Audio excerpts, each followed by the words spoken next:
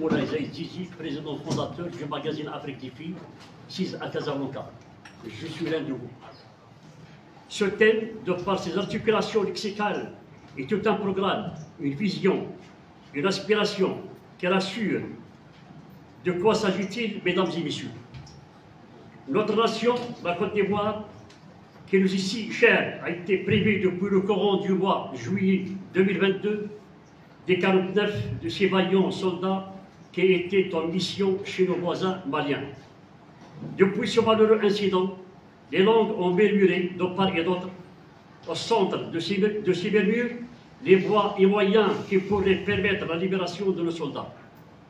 Pendant ce temps, le chef de l'État, son Excellence Alassane Ouattara, chef suprême des armées, a continué à rassurer ses concitoyens par son calme, sa cohérence, sa sérénité, montrant aux yeux du monde qu'il est un vrai chef, un homme d'État avec de grandes qualités.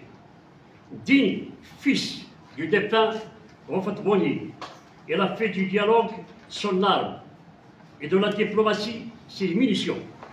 Avec discrétion, assurance et méthode, elle a permis à la paix de triompher par le dialogue là où les mauvaises intentions de certains observateurs pessimistes prédisaient le pire entre les deux peuples frères du Mali et de la Côte d'Ivoire.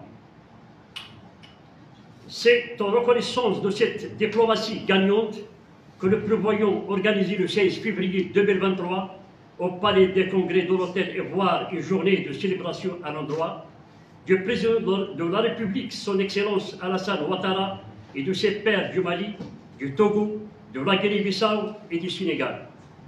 Des 49 veillants soldats qui ont fait preuve avec beaucoup de courage, de maturité, de dignité et de responsabilité durant tout le temps de leur séparation avec leur parti, leur patrie et leur famille.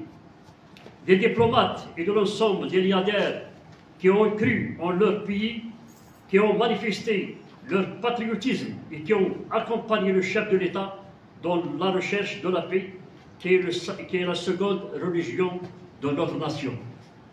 La cérémonie donc, se déroulera en trois étapes, à savoir la tenue d'une conférence publique pour retracer les points saillants des négociations qui ont abouti à la libération des soldats, l'organisation d'un match de gala qui opposera les Maliens et les Ivoiriens, l'organisation d'un dîner gala au profit des acteurs de la paix.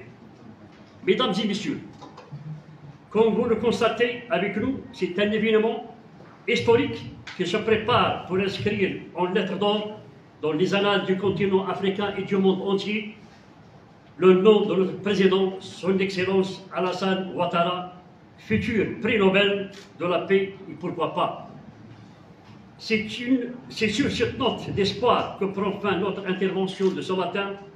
Nous nous vous remercions et nous tenons à vos dispositions pour éclairer les points d'ombre. Nous vous remercions tous.